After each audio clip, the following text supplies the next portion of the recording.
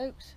It's a red hot day again here. We've missed all the thunderstorms in here in Notts. We haven't had any rain or anything. It's been absolutely red hot. Um, I've been doing bits and bobs, nothing much, you know, everyday things that are boring to film. So over this week, if there's anything interesting, I'm just going to film little bits and then um, add them together with a, an update uh, later on. So um, yesterday my mum came to visit and she's bought me presents. So as you can see, I've now got two grapes. This one it's uh, another green one. It just says green on the label, but I think up here there is the name. I don't. I'm going to look it up. I can't uh, read it because I haven't got my glasses on and it's too small. But they. Uh, she says I brought you another grape because yours don't look very good. But she's not seen it in a day or two. Look at it. It's perfectly fine. What's she on about? Anyway, I've got two now. So now is the problem of where to put them.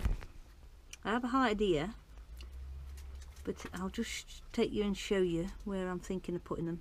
This area here, we normally cut it back. It's normally cut back by now. But, as I perhaps told you in one of the other videos, I'm trying to climb over my uh, some of my stuff. In here is Mrs. Blackbird. Isn't it Freya? Freya's here again. She likes Mrs. Blackbird, don't you? You'd like to get hold of her, wouldn't you? Right. I don't know whether she's um, got any eggs yet. I can't remember where she is. I think she's here. Unless she's moved the nest. That was the nest just there, but you can't see. But she seems seem to be in it. But they're still going in, so I reckon they've made another one. Uh, I find it, I might have a little peep in and show you. But anyway, going back to what I was talking about, this area is normally cut and I'm thinking of actually taking it all out if we can manage to dig down and get rid of this ivy. We've been trying to get rid of this ivy for years but it just keeps coming back. I mean I've got my roses and you can see they're all starting to come out. And over this side, if you can see the buds, that's a beautiful white, well, pink, like very light pink to a white rose. Um, and if I cut all this down, there's nothing to hold it up. It grows through it. So I'm thinking of taking it all out. And what I'm thinking of is putting posts with wires on for the grapes and growing it all the way down this fence make the posts a bit higher than the fence posts. And uh, that's I thought that was Mrs. Blackbird again.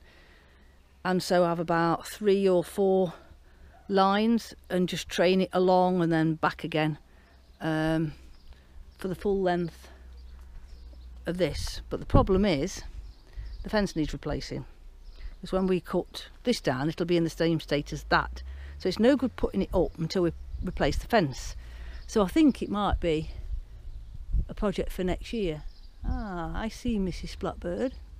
I might be able to find out where she's gone. I've seen her just go in, so I'll go and have a look. We found Mrs. Blackbird. She's made a new nest higher up. That must be because you keep sitting here, and she must. She was. She was there. Just there.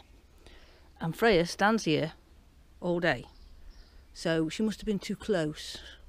Hey Frey, you were too close to her and says she's going to make another nest further up. This is why I thought she'd vanished the other day when I didn't see her. They move nests, but there's no eggs in it. Right, back to my presents. So I have put some seeds in um, for some rosemary, but I've, I've got three little tiny ones come up. But my mum's gone and bought me a nice bush, look. Really nice. We need smelly vision because that's gorgeous and she's bought me two moneymaker tomatoes she says to put outside because you can put them all outside. And I don't know where I'm going to put them. Thank you mother. But it's giving me more problems makes me more problems. But I was going to buy two they were 50 reduced to 50p in B&Q uh, beef like beefsteak ones and a Italian one. And then because I'd got no change on me and I got to use my card I hadn't got any cash I put them back because I thought you can't use your card for a pound. Well you might have been able to but I felt a bit silly asking to use my card for a pound. Um, so it's a good job I didn't buy them because now I've got these two. And if you look my blueberry's uh, doing quite well. I'm quite pleased with it. It's it's coming. And we'll just take you over here and show you my melons they're happy. They're coming not growing too fast. Um, I've found other years that they get leggy and then they don't hold their own weight and they're flopping all over everywhere. So I'm trying actually to make them have thicker stems not force them just let them come steady. Um, and it seems to be working up to yet. They might go a bit more leggier as they get higher up but the thicker bottom stem you can start off with the better. In my opinion well that's it for for this little clip. I will be showing you different things over the week that I've had to do but uh, nothing major. I've tied myself out of the weekend so no no digging or not much anyway. The next problem I've had is the cabbages. They've been wilting. No matter how much water I've put used use these bottles to put it into the ground so I'm not putting it on them so they don't get scorched they've been practically laying down. So I've had to oh, climbing over again put this fleece. It blows about so the breeze gets under and it just keeps the direct sun off them and they're really happy now. So and same with my beans. We've got a wigwam up lot and it's just shielding the direct sun when it comes I'll point past the camera. It comes from over there in the morning and it just about scorches them. You can see some of them haven't recovered. You can you can see that one at the back of the leaves. And I water straight into the ground so it's not as though I'm putting water on them and scorching them. I've got flowers on me. I nearly said tomato plants then. This sun it's getting to be with potatoes. And you saw this bed was filling it the other day. Now we have one two three four more courgettes in and one two three four five butternut squash. And these are more bush ones. So they won't be crawling all over everywhere. Well so they say the bush ones. But I've seen a little um, stringy thing already. One of them that cling on to things. Um, so we will see. But that's what the packet says. Ideal for pots and these are my spares so I've decided to shove them in this bed. Um, but again you can see I've had to shield them from the sun. Because even shielding this one it's still a bit droopy look. It's not good. It's that hot up the top of this garden all the time all day from early in the morning till right to get a little bit of shade over there very late afternoon but it's intense all the time.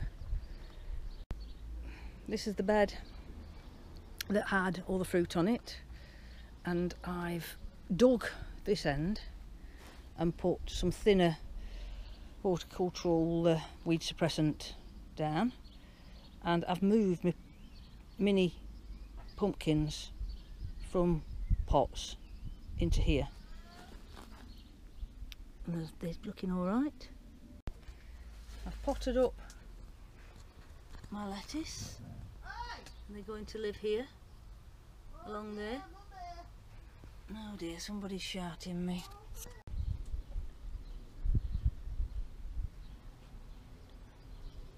I said these were going to be pretty.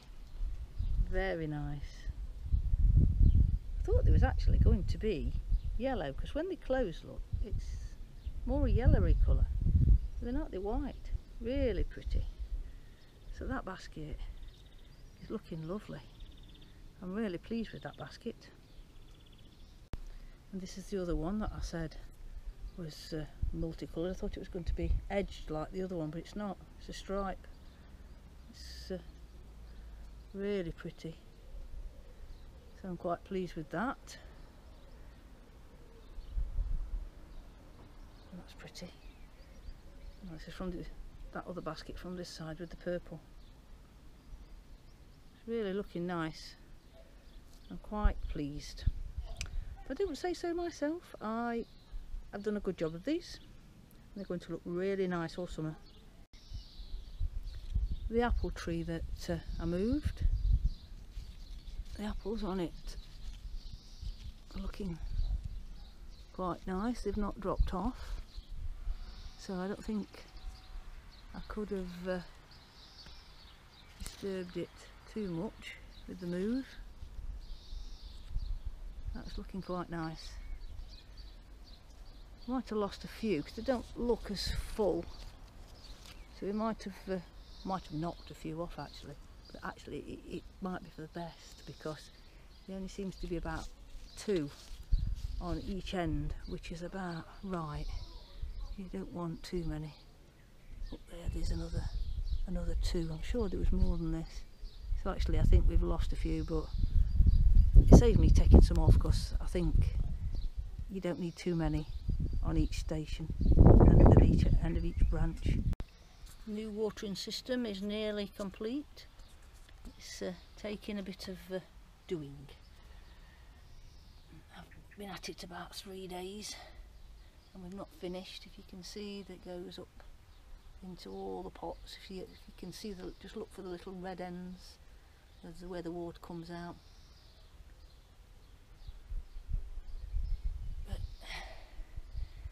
but I've got a lot of pots to, to do but I'm hoping to be finished in another couple of days more flowers coming out I don't know what these are going to be like when they when they uh, come out but they're looking nice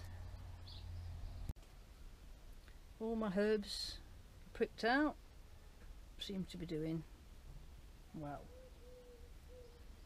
that's my dill I think this one is curry no that's parsley. These are lobelia.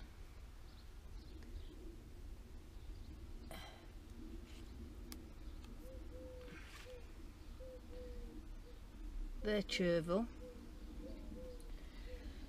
I've just potted my peppers, well some of them I've not actually put them in a bigger pot. I've just replaced the compost because they don't seem to be doing anything.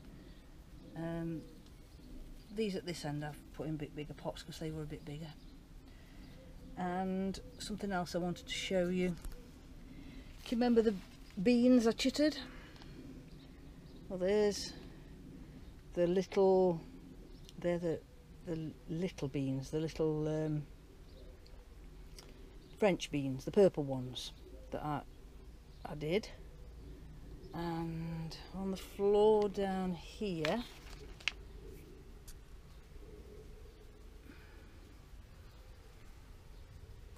are the climbing green runner, uh, not runner beans, um, French beans.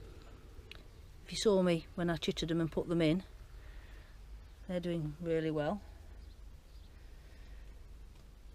And my Cosmos and my African marigolds are doing well. I've had to bring my carrots in here to be a bit shaded because they couldn't stand the sun either so I've, I've been having to shuffle things around all over the place um, I can't get this is the trouble. I've got no feet space. Over here we've got more. Hold on. More lobelia. And there's a coriander tarragon. Finally my spring onions have come up and I'm going to have to move them because they're looking like they're dry so we'll put them over into the shade. And they're dry as well. They're my uh, garlic. I'm going to have to water them. This is the trouble with that top shelf. It gets far too hot. Put them there and I'll have to come and give them some water. The basil in here are doing fine. I've only lost one. They're doing good. And all my tomato plants are the same as when I brought you in here the other day the only thing added was the lettuce which I've just shown you. I'm just trying to turn around my bush cucumbers are looking really nice. Um, I've got some mustard spinach to put out. Um, this, these flowers and stuff want sorting. I've uh, got far too much to do. I'm trying to I can't see ah my petunias and look what I found on my petunias you little horrible nasty. Here we go again to get the slug pellets out. Even in this heat the blooming things are out. So the outside tomatoes are doing nice. They went in first. Um, when it gets really hot I undo the front of this. I had to undo it yesterday because this corner once the sun gets round to it there's another scorching little spot so they're doing fine. I'll have to get in there and maybe prick any side shoots off. But uh, I quite like this. I might get another one for the melons next year. We've already started harvesting the kale. So I'm going to start freezing some. Um, this is the Swiss chard. I had this with uh, some eggs in an omelette this morning. Um, but the kale is now not that big but it's getting uh, to the point where it's just going over onto the lettuces. So where it's growing onto other crops so we can we can um, grow things in a tight space we uh, start picking the leaves off. So this is going in here and in the fridge and if I don't decide to make something with it tomorrow oops wrong way around then it will go in a bag and go into the freezer. Freezing my kale and my chard. Now I just shove it in a bag and put it in the freezer. Or tie a knot in the bag or put a tie around it. But um, I don't bother chopping it up or anything because once it freezes um, and it's been in the freezer a bit and you, you can just crunch the bag and it all breaks up into little tiny pieces. Saves you chopping it. Um, and that's all there is to it